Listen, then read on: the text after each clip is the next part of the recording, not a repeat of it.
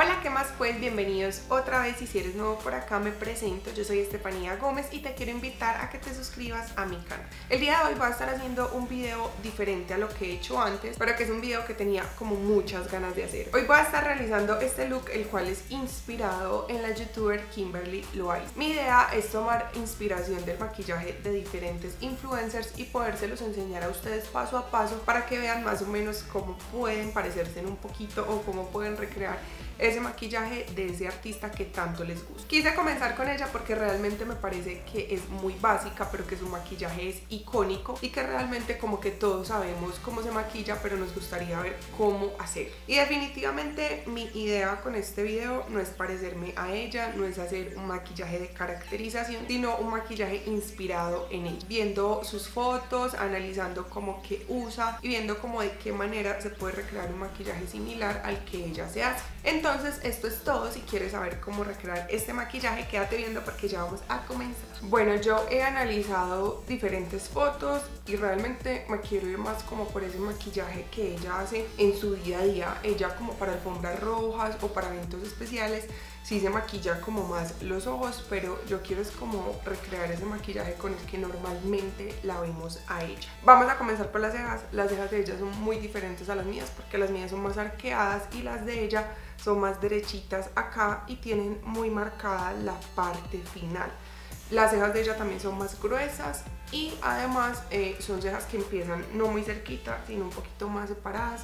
Entonces yo lo que hice fue como desmaquillarme mis cejas porque yo las tenía maquilladas y vamos a tratar de construir las cejas lo más parecido posible a las de ella. Que podemos ver, las cejitas de ella son muy marcadas y voy a comenzar también subiendo un poquito más la forma natural de mis cejas porque las de ella son un poquito como menos arqueadas, entonces para darles una forma más recta. Voy a comenzar como acá.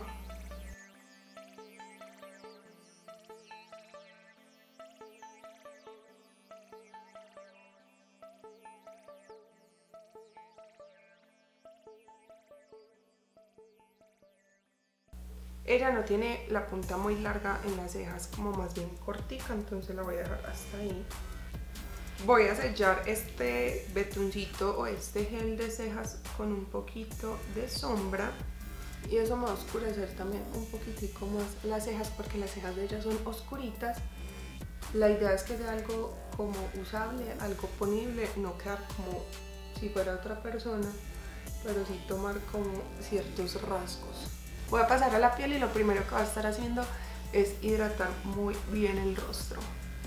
Esta niña tiene una piel muy bonita, en las fotos y en el video se le ve muy linda la piel, entonces voy a tratar de que la piel se vea muy linda pero natural. Pues para esto es súper importante primeramente poner humectante y más cuando ya no tenemos el colágeno que ella tiene, porque ella, si no estoy mal, tiene 21 años, yo le llevo sus buenos 5 años a ella y voy a estar aplicando también este primer que es de la marca Tisa, que es una marca colombiana. Voy a estar utilizando como base la base de Dolce Bella, que es una base que tiene excelente cobertura, que me va a dejar la piel con apariencia súper linda.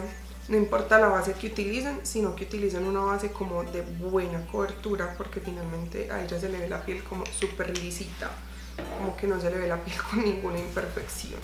Incluso cuando ella hace videos como desmaquillada o así, la piel se le ve súper linda. Entonces quiero que la piel se me vea como también muy bonita y esta base me ayuda demasiado.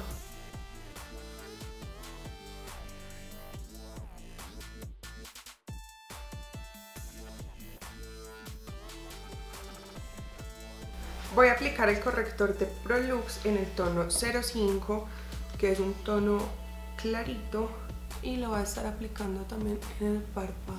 Voy a poner buena cantidad de corrector en esta zona y lo voy a difuminar súper bien.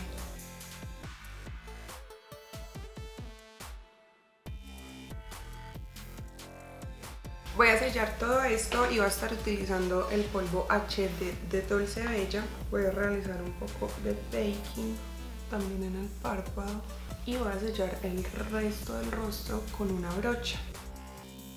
No sé si me esté equivocando, pero yo como mirando las fotos y analizándolas, siento que ella no es una persona de hacerse mucho contorno, que incluso el rostro se ve con pocas dimensiones, pero naturalmente ella tiene como esta marcación acá súper linda, esta parte de acá, entonces vamos a hacer un poquito de contorno para tratar como de levantar un poquito más los pómulos. Voy a tomar un poquito de contorno con una brocha angular y voy a ponerlo de esta manera haciendo como un semicírculo dirigiéndolo hacia la boca, de esta manera. Vamos a hacerlo primero marcadito y luego lo voy a ir difuminando. Ella tiene la parte de los pómulos muy bonita, entonces la idea es como que cuando pongamos el rubor se resalte un montón. Y si no estoy mal, ella recientemente tiene hecha una bichectomía, que es cuando sacan como las bolsitas como de grasita y perfila mucho el rostro, y una lipopapada, entonces vamos a hacerla con los productos cosméticos porque no la vamos a hacer de otra manera. Vamos acá a adelgazar un poquito esta zona.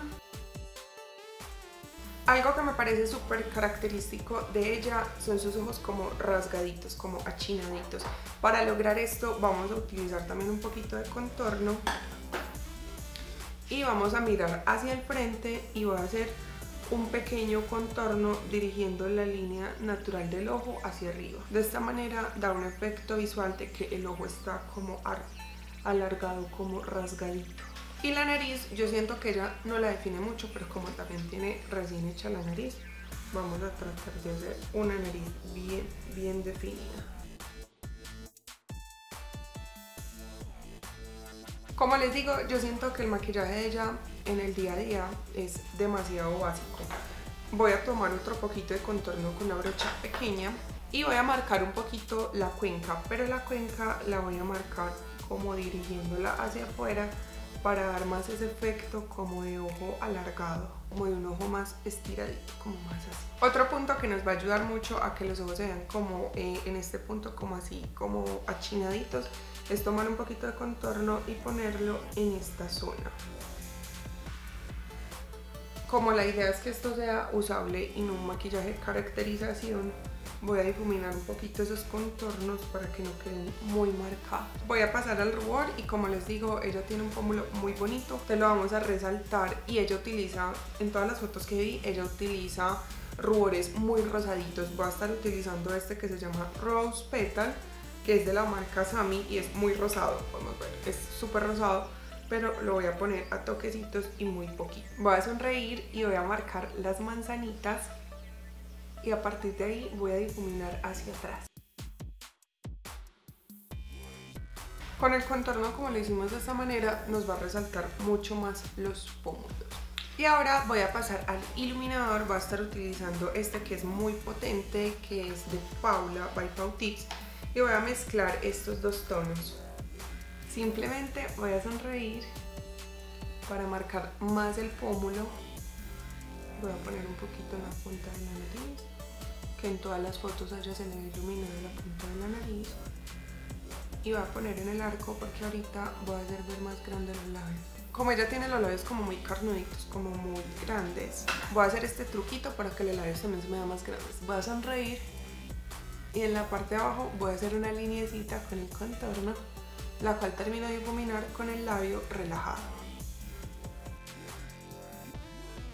Ella no es como mucho de sombras, eh, entonces voy a ponerme simplemente un poquito de glitter como eh, de pigmento con brillantico, que este sí se lo he visto utilizar bastante a ella. Veo que utiliza mucho como algo brillantico en los ojos y ya.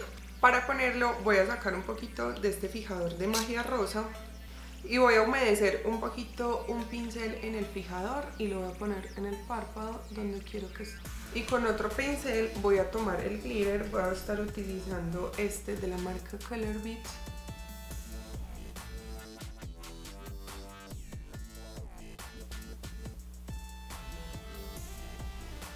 y voy a pasar a la parte que según yo es como lo que más define el maquillaje de ella y es un buen delineado. Voy a estar delineando con el plumón de Amé y voy a delinear desde bien cerquita el lagrimal y voy a hacer un delineado más bien gruesecito.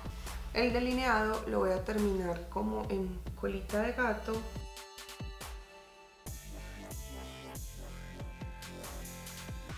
De esta manera.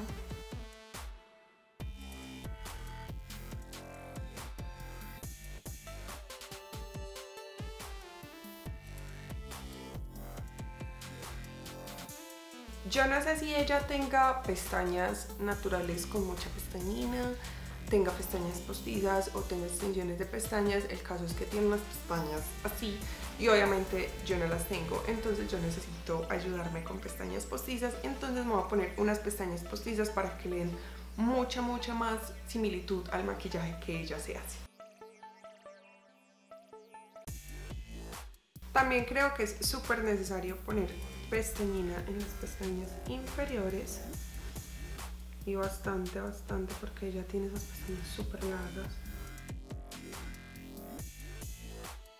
Y ella es de utilizar mucho tonos rosados en los labios y va a estar utilizando este color que se llama Deep Pink, que es de la marca Tonos y es un rosado precioso.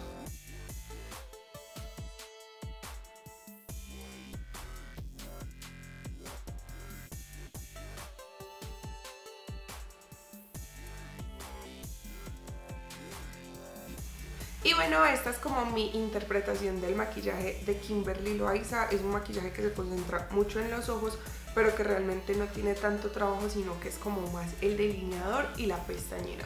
Sin duda, siento que el color de los labios es un color que se le debe utilizar muchísimo a ella. Los pómulos rosaditos. Entonces son como pequeñas características que podemos incluir en nuestro maquillaje para tener un look más parecido al de nuestro artista favorito, influencer o demás. Cuéntame si te gustaría ver mi interpretación del maquillaje de alguna otra influencer. Espero que les haya gustado un montón este video. Si es así, no olvides darle like. Si no te has suscrito, ¿qué estás esperando para hacerlo? Y no siendo más, me despido. Ustedes les mando un abrazo enorme y un beso gigante. Y nos vemos en una próxima ocasión. ¡Chao!